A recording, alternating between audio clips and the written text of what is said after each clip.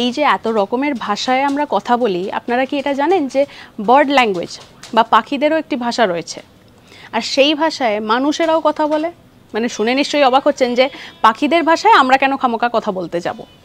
বা মানুষরা হয়তো কথা বলছেন যাতে পাখিরা মানে পাখিদের ডাকার জন্যে, কিন্তু আদতে তা নয়। মানুষরা মানুষদের সঙ্গেই কথা বলছে এই পাখির ভাষায় বা বার্ড ল্যাঙ্গুয়েজ ব্যবহার করে। এর প্রচলন কোথায় রয়েছে, সেটা এবার বলি। এটা কিন্তু আপনি তুর্কিতে গেলে দেখতে পাবেন। তুর্কির একটি গ্রাম, কুসকয় নামক একটি গ্রাম, সেখানে কিন্তু এই বার্ড ল্যাঙ্গুয়েজ সেই ব্যবহার করা হয়। এবং এটা কীরমভাবে ব্যবহার করা হচ্ছে, ধরুন একজন মাঠের এক প্রান্তে রয়েছে, আর একজন অনেক অপর প্রান্তে রয়েছে, বা তারা ধরুন চাষ করছে, সেই সময় দাঁড়িয়ে একজন অপরজনকে এই বার্ড ল্যাঙ্গুয়েজের দ্বারাই কমিউনিকেট করে বা ডাকে। এটার কিন্তু প্রচলন এখনও রয়েছে। শুধু তাই না দু হাজার সতেরোর ইউনেস্কো লিস্ট যদি আমরা দেখি, তাহলে আমরা দেখব এই ভাষার উল্লেখ, যেটাকে গণ্য করা হয়েছে যে ইনট্যাঞ্জেবল কালচারাল হেরিটেজ হিসাবে। ইন্টারেস্টিং না? এইরকম নানা ফ্যাক্টস রয়েছে আপনাদের জন্য।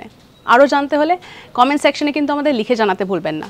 লাইক শেয়ার অ্যান্ড সাবস্ক্রাইব করুন এবং সঙ্গে রাখুন আজ তক বাংলাকে।